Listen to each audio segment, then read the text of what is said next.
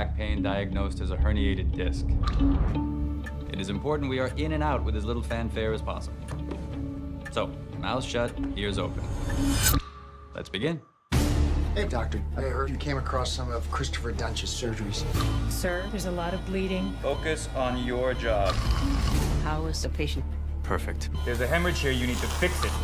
So there were no complications? I don't have complications. I can't make sense of this. It's like he knew what he was supposed to do. Then he did the exact opposite. I could have told you the guy was a hack. What did he do? Dorothy Burke walked in all on her own and now she's brain dead.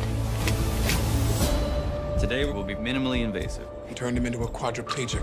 Work ethic was second to none. Well, Ted Bundy was a good worker, too.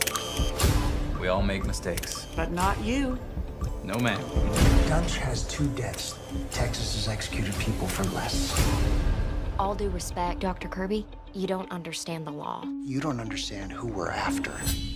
Duntsch is never gonna stop on his own. You have to protect the public and suspend his license. My patients mean everything to me, and the longer I'm here, the longer they're in pain. You heard these people. You saw what he did to them. I swear I will make sure this never happens to anyone else. If you take my license in Texas, there's an entire world out there. The system is broken. I have a suggestion. It's a bit extreme.